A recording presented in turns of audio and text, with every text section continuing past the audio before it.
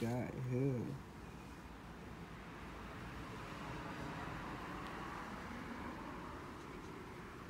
Just to get these in line today was crazy. Store was backed up.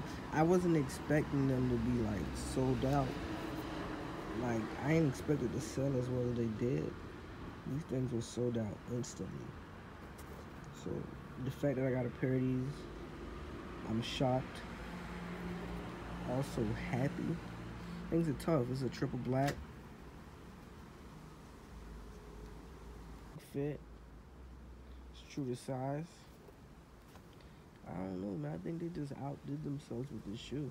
Because it's the Bred Nines. Yeah. Just want you guys to just look at it and pay attention. It's just-